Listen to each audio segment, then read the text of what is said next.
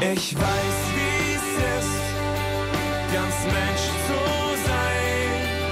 Ich weiß, wie du dich fühlst. Ich bin wie du, aus Fleisch und Blut und weiß, was Leben ist. Ich bin halt so geworden, da kann ich nichts dafür sagen viele Menschen entschuldigend. Wie können wir unsere eigene Lebensgeschichte annehmen und darüber hinaus mit Gottes Hilfe in Freiheit die eigene Zukunft gestalten? Um diese Frage geht es in der heutigen Sendung. Und damit begrüße ich Sie ganz herzlich zu einer neuen Ausgabe von Weltweit am Leben dran, dem TV-Magazin der Liebenzeller Mission. Zum Einstieg haben wir uns auf der Straße umgehört und die Frage gestellt, wer oder was hat Sie in Ihrem Leben geprägt? Ich habe einfach das Glück gehabt, wunderbare Menschen kennenzulernen im Laufe meines Lebens. Und eigentlich verdanke ich alles, was ich in meinem Leben erlebt habe, irgendwelchen bedeutenden oder besonderen Persönlichkeiten, die im richtigen Moment das richtige Wort zu mir gesagt haben oder den Idealismus in mir entzündet haben oder mich einfach mal zurechtgestutzt haben. Aber eigentlich sind es Menschen. Meine Heirat. das hat mich geprägt. Ja, die ganzen Nachkriegsjahre hauptsächlich mal dass meine liebsten Spielplätze eigentlich Trümmergrundstücke waren, so komisch das klingt. Und dass ich eigentlich ganz stolz bin auf das, was unsere Eltern alles aufgebaut haben. Und das hat mich eigentlich so weit geprägt, dass ich sagen muss, es wäre schade, wenn alles wieder kaputt ging. Ein Unfall, den ich hatte, wo ich auch hätte sterben können. Manche Menschen sind auch äußerlich auf Dauer von ihrer Vergangenheit gezeichnet. Bei Alfonso Rosales aus Ecuador ist das so. Die Tätowierungen an seinem Körper erzählen von einer düsteren Vergangenheit und einem Verlust, der ihn bis heute beschäftigt. Ich hörte früher viel satanische Heavy-Metal-Musik, gemeinsam mit meinem Bruder. Ich war auf diesem dunklen Weg, wollte sein wie die Sänger dieser Bands. Sie waren Vorbilder für mich. Damals hatte ich mir auch dieses auf dem Kopf stehende Kreuz auf die Stirn tätowiert, um einem meiner Lieblingssänger nachzueifern. Alfonso Rosales verbrachte seine Jugend in Cotacachi, einer Stadt mit rund 20.000 Einwohnern. Cotacachi liegt in einem Tal zwischen den höchsten beiden Vulkanen der Provinz Imbabura im südamerikanischen Land Ecuador. Zu dieser Zeit machte er sich wenig Gedanken über seinen Lebensstil und wohin dieser führen könnte, bis bei einem seiner Brüder die Situation eskalierte. Ich hatte zwei Brüder und wir haben viel getrunken, Drogen genommen und hatten ständig Ärger mit der Polizei. Eines Tages hat einer meiner Brüder sich in seinem Zimmer eingeschlossen, sich eine Stange Dynamit in den Mund gesteckt und sich umgebracht.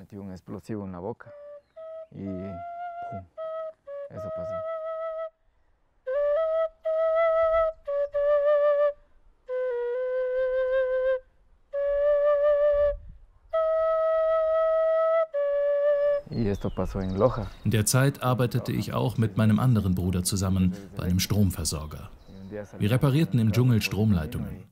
Eines Tages hatten wir einen schweren Unfall. Mein Bruder saß hinten auf der Ladefläche und das Auto wurde durch die Luft geschleudert und blieb auf ihm liegen. Wir versuchten ihn ins nächste Krankenhaus zu bringen, aber er ist noch auf dem Weg dorthin gestorben.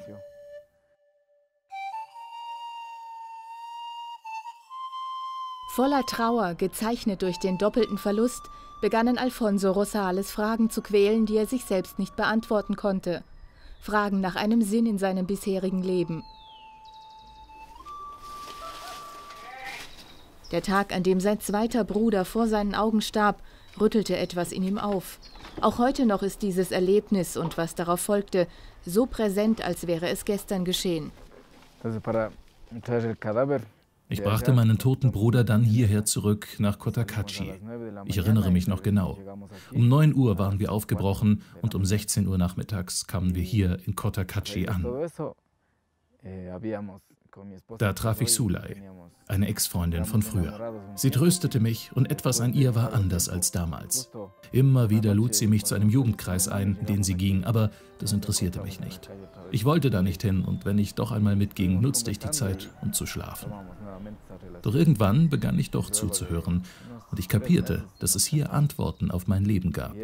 Antworten auf die Dinge, die mich beschäftigten. Und da merkte ich, wie sehr ich Jesus in meinem Leben brauchte.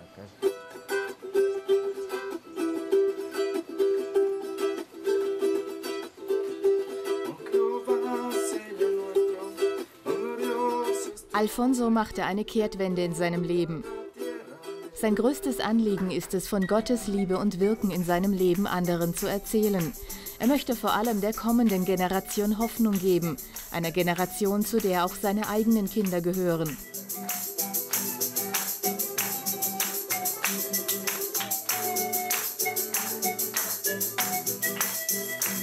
Zusammen mit Missionaren der Liebenzeller Mission ist er deshalb auch in Schulen unterwegs und veranstaltet Nachmittagsprogramme für Jugendliche und Kinder, um sie von Drogen und Gewalt fernzuhalten. Auch wenn die eigene Vergangenheit und der erlebte Verlust heute noch schmerzen, erinnert ihn eben dieser Schmerz doch daran, was wirklich wichtig ist im Leben. Es ist eine große Freude und ein Privileg für mich, Gott mit meinem Leben voll zu dienen. Und es ist eine Ehre, dass man mich gefragt hat, als hauptamtlicher Missionsmitarbeiter in der Gemeinde zu arbeiten. Es ist wunderbar, wie Gott einen gebrauchen will, wenn man bereit ist, sich von ihm einsetzen zu lassen. Egal woher man kommt und wie man aussieht. Ich habe viele Tattoos. Nicht nur am Arm, auch auf meinem Oberkörper und dieses auf den Kopf gestellte Kreuz auf meiner Stirn. Und auch wenn es Menschen gibt, die das anders sehen, die mich gleich aufgrund meines Äußeren verurteilen und in eine Schublade schieben, weiß ich doch, dass Gott mich liebt, wie ich bin und mich gebrauchen möchte. Er sieht nicht diese Dinge. Er blickt viel tiefer. Er sieht unser Herz.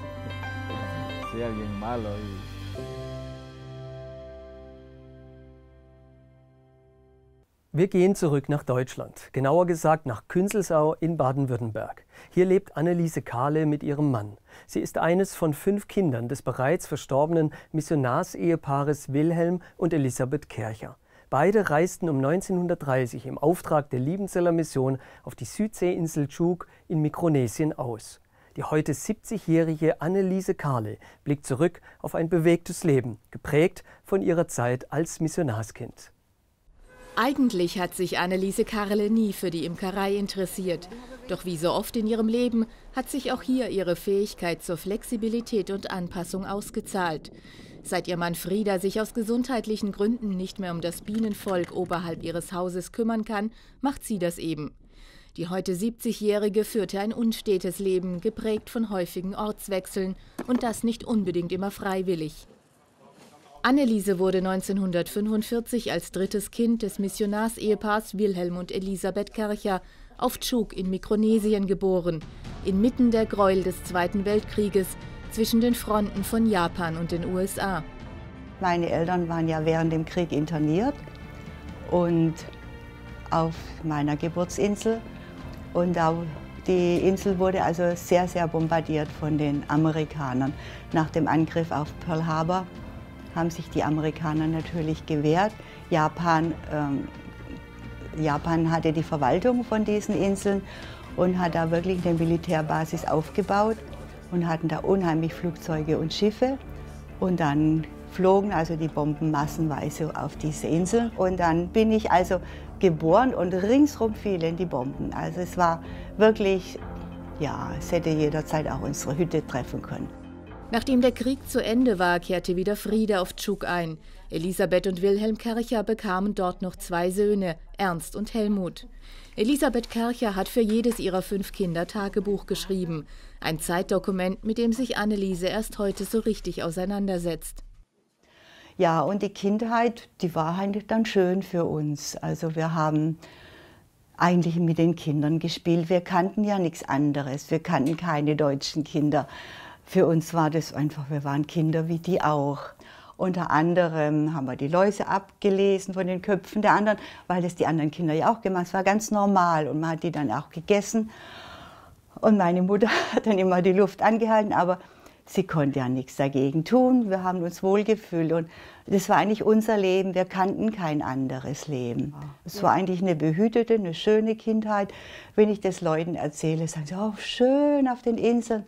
Stimmt auch, es war wirklich schön. Da die drei ältesten Schwestern, Hannelore, Waltraud und Anneliese, eine ordentliche Schulausbildung bekommen sollten und die Eltern dringend einen Heimaturlaub benötigten, reiste die Familie 1952 wieder zurück nach Deutschland. Und dann kam natürlich alles Neue über uns, total andere Kultur, total neues Land. Also wir wussten eigentlich gar nicht, was da auf uns zukommt. Ne? Und dann wurde es halt angestiert von allen Leuten. Wir waren so das, also meine Eltern waren das erste Missionsehepaar, das mit Kindern zurückkommt. Für die Liebenzeller Mission sowieso. Das war also schon ein bisschen heftig für uns Kinder. Die Kerchers kauften sich ein Haus in Eutingen, einem Stadtteil von Pforzheim. Noch heute wohnt Annelieses Bruder Ernst hier mit seiner Familie. Der Schriftzug über der Eingangstür ist Chukis und bedeutet übersetzt Haus des Friedens. Und da haben wir dann in diesem Haus gewohnt und mussten dann auch zur Schule. Und wir waren also die absoluten Exoten in dem Dorf. Wir waren dann so noch ein, als Familie zusammen noch so ein halbes Jahr. Und dann ging eben mein Vater wieder nach Amerika zur Weiterbildung, weil die Inseln unterstanden jetzt ja Amerika. Und ja, meine Mutter ging dann ein Jahr später. Da war ich dann acht. Ja, wir mussten, wir Mädchen mussten halt in die Schule. Und meine Brüder waren noch so, dass meine Mutter sie unterrichten konnte. Ein Abschied, der bei Anneliese Narben hinterlassen hat, die sie bis heute spürt. Beim Vater war es noch nicht so ganz schlimm, weil die Mutter ja da war. Ja, aber wie gesagt, da kann ich nicht drüber reden. Es geht einfach nicht, ja. Also ich weiß noch, wir standen am Gartenzaun, meine Mutter ging, es war wie, wie ein Schwert, mein Herz zerbricht. Ja, und das war's dann.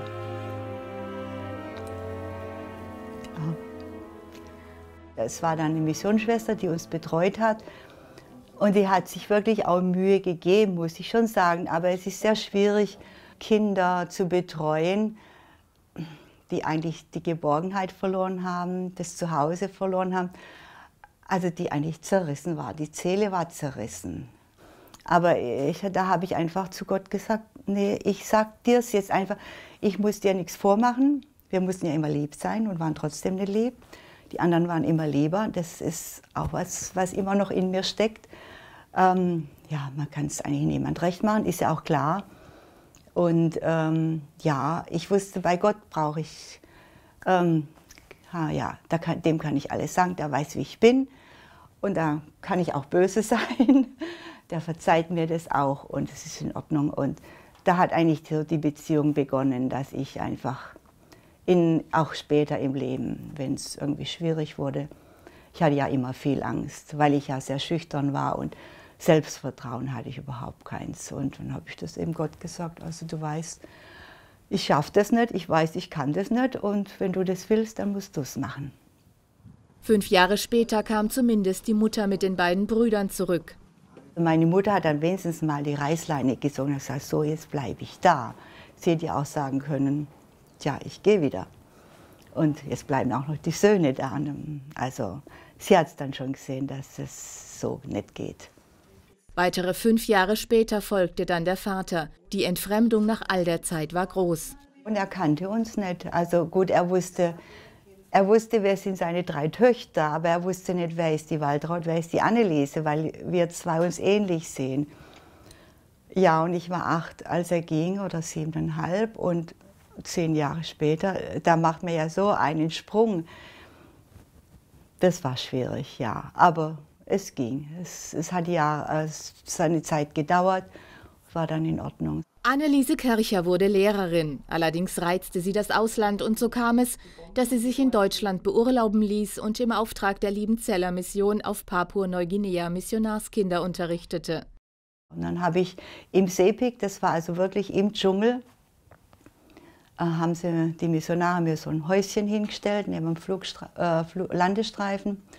Und da hatte ich dann, also ein Klassenzimmer, da hatte ich dann Kinder von Australien, Neuseeland und Deutschland. Ja, und dann habe ich die unterrichtet. Dann waren eben meine drei Beurlaubungsjahre zu Ende. Ja, dann wusste ich nicht, was mache ich. Äh, unterrichte ich wieder in Deutschland? Gehe ich ganz in die Mission? Das war dann schon ein, ein langer Kampf mit mir. Also die Liebenzeller haben gesagt, also wir schicken dann unsere Kinder nach Wau. Wir sind da auch mal hingeflogen und es hat mir eigentlich gut gefallen. Also es war schon ein bisschen sehr nobel verglichen mit dem Dschungel, wo ich wohnte. Und da habe ich gedacht, nö, es wäre schon schön, da jetzt zu unterrichten. Von da an pendelte Anneliese immer wieder zwischen dem Schuldienst in Deutschland und der Schule für Missionarskinder auf Wau hin und her. Bei ihrer Arbeit mit Missionarskindern hat sich Anneliese selbst nie als Tochter eines Missionarsehepaars zu erkennen gegeben. Interessant ist, dass ich jetzt so langsam wieder Kontakt kriege zu ehemaligen, die natürlich jetzt gestandene Mütter sind und die mir jetzt dann doch erzählen, wie, ihre Zeit, wie sie die Zeit empfunden haben. Und du warst auch, und das wussten wir alles gar nicht. Eine Mutter hat dann gemeint, warum hast du es nicht gesagt? Dann habe ich gesagt, ich konnte das nicht, ich konnte das nicht sagen. Erst jetzt, so viele Jahre später, kann sie über ihre Kindheit und Jugend und die Zeit ohne Eltern sprechen. Ja, wir haben es auch unseren Eltern nie vorgeworfen, wenn da Leute gefragt haben, ja, sag mal, das war bei euch so und erzählt doch. Und dann, wenn wir das erzählen, dann gehen sie über unsere Eltern. Ja, wie können die? Und ach, das ist doch unmöglich. Und das wollten wir nicht. Wir haben gesagt, unsere Eltern, das war ihre Aufgabe. Wir haben es akzeptiert und wir wollen eigentlich nicht von anderen Leuten jetzt hören, dass unsere Eltern unmöglich sind. Dann haben wir eben nichts mehr gesagt. Wir haben meistens geschwiegen. Anneliese heiratete ihren Mann Frieda spät.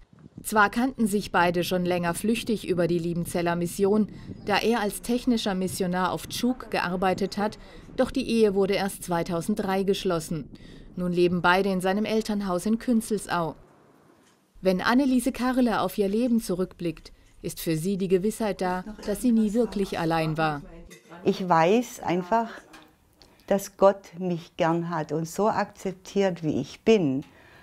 Und das hilft mir dann, dass er einfach mich geführt hat. Und der Psalm 27, der, äh, der heißt mein Licht und mein Heil, vor wem sollte ich mich fürchten? Das war's. Also, ich brauche keine Angst haben. Ich wollte nicht nur reich werden, ich wollte unendlich reich werden. So beschreibt Josef Müller selbst, was ihn dazu antrieb, mit immer krummeren Geschäften noch mehr Geld zu machen. Schließlich schreckt er nicht einmal davor zurück, für die amerikanische Drogenmafia Geld zu waschen. Wirklich reich wurde er allerdings erst, nachdem er alles verloren hatte. Wir haben Josef Müller, den Autor des Bestsellers Ziemlich bester Schurke, in seiner bayerischen Heimat besucht und er hat uns seine Geschichte erzählt.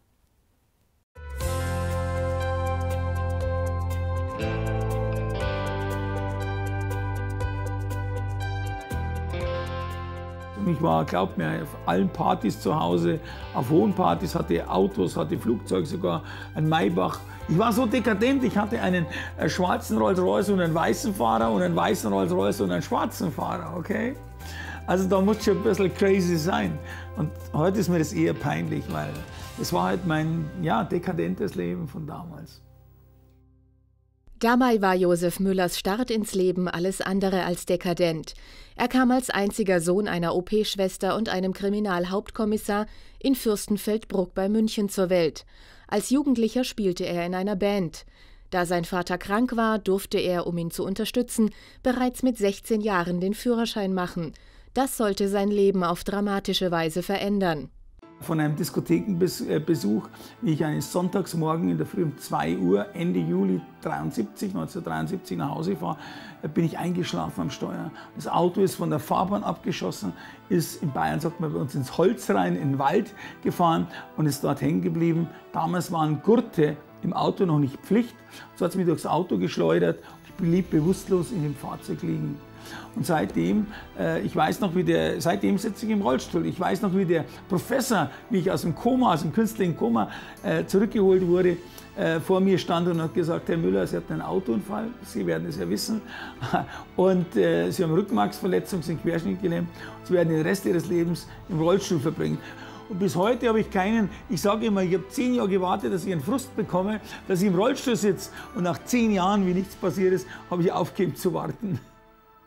Josef Müller holte sich die Bestätigung, die er brauchte. Er wurde Steuerberater und eröffnete schnell mehrere Kanzleien. Hatte 50 Mitarbeiter, vier Büros ja, und äh, nette Freundin, tolles Auto und schon ein kleines Haus am Gardasee und ein Boot in Badolino in Italien. Aber das hat noch nicht gereicht, dass man sich reich werde. Da kommt man gut leben dafür. Aber ich wollte eigentlich, so habe ich das gesehen, das war so mein Vorsatz, meine, mein Ideal, meine Vision, reich werden, richtig reich werden, im mehrfachen Millionenbereich. Und ich muss ehrlich sagen, mit Arbeit konnte ich das nicht machen. Er lernte durch Zufall einen reichen Amerikaner kennen. Von Bruce bekam er über 20 Millionen Dollar in Bar, die er in Deutschland anlegen sollte. Müller tat dies mit großem Erfolg und verdiente da an monatlich selbst bis zu einer Million. Später, und jetzt kam es, hat sich herausgestellt, dass das Geld Drogengeld war. Die hatten mit einer Schnellboote, Flotte, Drogen und Waffen durch die Karibik befördert. Und ich wurde praktisch instrumentalisiert zu einem, äh, ja, zu einem Drogen- und Waffengeldwäscher einer US-Mafia. Trotzdem habe ich das Geld natürlich benutzt und wie es dann weg war, weil es in der Devisenspekulation plötzlich nach unten ging, war ich plötzlich auf, nicht nur auf der Fahndungsliste vom FBI, sondern ich wurde auch natürlich gejagt von den Leuten, die mir das Geld äh, übergeben hatten. Josef fiel ein Stein vom Herzen, als Bruce in den USA verhaftet wurde. Allerdings bekam der Drogenboss durch einen Deal mit der Staatsanwaltschaft lediglich zwölf Jahre Haft. Und die Ende der Geschichte war das, dass vor, vor, vor zwei Jahren mir ein Bekannter erzählt hat, aus, Versich aus, aus hundertprozentig sicherer Quelle, dass Bruce vor fünf Jahren in Deutschland war und hat sich nach Josef Müller erkundigt. Und jetzt kannst du dir vorstellen, dass jetzt alle eigentlich den Atem anhalten, inklusive mir. Bloß ich muss schmunzeln, weil ich ein glücklicher Umstand kam, dass ich genau zu dem Zeitpunkt im Gefängnis war. warum ich verurteilt war und warum ich im Gefängnis war fast fünf Jahre, das war die Dummheit meines Lebens. Wie nämlich Bruce Geld weggefallen ist, habe ich den Blödsinn gemacht. Ich habe mir dann Gelder von Mandanten geliehen. Und zwar große Beträge und die konnte ich irgendwann nicht mehr zurückzahlen. Auch privat schlug das Schicksal zu. Josefs Ehefrau Sandra verließ ihn und heiratete seinen Chauffeur. Da kam es eben, dass genau zu dem Zeitpunkt, wo mich meine Frau verlassen hat, kam eben Gott auch in mein Leben. Und er kam in Form eines Neuen Testaments, das Josef in der Gefängnisbibliothek in die Hände fiel. Und habe das gelesen. Und dort habe ich gelesen, dass Gott eigentlich mein Papa ist und dass er sich kümmert um mich. Habe das gelesen vom barmherzigen Vater, vom verlorenen Sohn. Der verlorene Sohn ist ja aufgewacht im Schweinestall und ich bin aufgewacht im Gefängnis. Und ich sah da Parallelen. Und der verlorene Sohn ist zurückgegangen zu, zu, zu seinem Vater oder Gott als Metapher. Ich wollte eine zweite Chance haben nicht mehr nur den oberflächlichen Dingen nachzulaufen. Und so habe ich gelesen, du kannst mit Jesus reden wie in einem ganz normalen ähm, Gegenüber. Und so habe ich gesagt, Jesus, in meiner kalten Zelle in München-Stadelheim, Jesus, ich habe so viel Mist gebaut, es tut mir leid. Ähm, ich kann es nicht ungeschehen machen, aber würdest du mein Leben neu übernehmen? Können wir neu anfangen? Die geistige Heimat des ehemaligen Geldwäschers ist heute das Christuszentrum in Olching. Die dortigen Gemeindemitglieder sind für ihn ein wichtiger Halt. Ja, es ist die typische Karriere, äh, reich, Millionär, Spaß, Drogen, Frauen. Und das, was mir eben gefällt, man kann immer sagen, Geld bringt nichts, aber er hat es mal erlebt und er kann trotzdem sagen, dass ihn das nicht glücklich gemacht hat und dass eigentlich so diese Beziehung zu Jesus, von der er immer redet, dass die ihn glücklich macht und das nehme ich ihm ab. Ab und zu kommen Leute zu mir, die sagen, ja, Gott ist ja schon seit ewiger, Jesus ist ja schon seit ewiger Zeit tot. Dann sage ich, ja, der müsste schon die letzten 20 Minuten gestorben sein, weil ich habe mich gerade mit ihm unterhalten vorher. Und das ist, glaube ich, ganz wichtig, eine lebendige Beziehung. Josef Müller ist mittlerweile mit seiner aufregenden Lebensgeschichte ein gefragter Redner und tourt selbstredend mit auffälligem fahrbaren Untersatz durch Deutschland, Österreich und die Schweiz. Auch in zahlreichen Fernsehsendungen, wie beispielsweise dem Gottesdienst Stunde des Höchsten auf Bibel TV, war er bereits zu Gast. Der Josef Müller war so nie so glücklich wie jetzt im Moment. Und das, glaube ich, ist eine ganz wichtige Sache. So steht es auch in der Bibel, legt deinen Ballast vor Jesus, leg es, leg es ab. Er sagt, alle, die ihr beladen seid, legt euren Müll und euren Ballast, Ballast vor mir ab. Und ich will euch erquicken, ich will euch Spaß bereiten, ich will euch das abnehmen, dass ihr wieder ein, ein zufriedenes Leben habt. Und das ist genau das. Ich rate den Menschen, egal wo sie sind, mit der Vergangenheit abzuschließen, die Menschen zu verzeihen und sich selbst zu verzeihen und das auch anzunehmen. Und das ist so wichtig. Vergangenes abschließen, Neues kann beginnen. Paulus hat gesagt, Altes hat, ist vergangen, Neues hat begonnen. Das ist ein biblischer Satz und ich glaube, der sagt alles aus. Das Leben lässt sich nur rückwärts verstehen, muss aber vorwärts gelebt werden. Dieser Satz stammt von dem dänischen Theologen und Philosophen Sören Kierkegaard. Ich denke, das ist auch ein sehr gutes Fazit unserer heutigen Sendung. Und ich hoffe, wir konnten Ihnen gute Impulse für Ihr eigenes Leben mit auf den Weg geben. Wenn Sie noch Fragen oder Anregungen haben, dann rufen Sie uns doch einfach an. Unter der Nummer 0185 33 50 15 sind wir gerne für Sie da. Bleiben Sie noch dran. Wir haben im Anschluss einen ermutigenden Clip für Sie vorbereitet verabschiede mich schon mal und wünsche Ihnen Gottes Segen. Oft frage ich mich, wer bin ich eigentlich? Wo komme ich her? Und warum bin ich, wie ich bin? Gott sagt, dass ich durch seine Gnade bin, was ich bin. Seiner Gnade verdanke ich alles. Das alles hat Gott mir nicht vergeblich geschenkt. Wenn ich mich mehr als alle anderen eingesetzt habe, dann war das nicht meine Leistung, Gott selbst hat alles in seiner Gnade bewirkt. Nach 1. Korinther 15.